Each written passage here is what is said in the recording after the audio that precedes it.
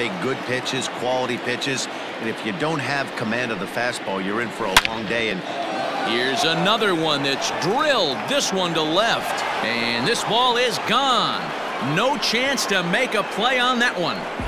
Yeah, that was solid strategy going with the right-handed reliever there, looking for the right-on-right advantage, but he took that strategy and blasted it into the outfield stands. Guy on the bump just didn't execute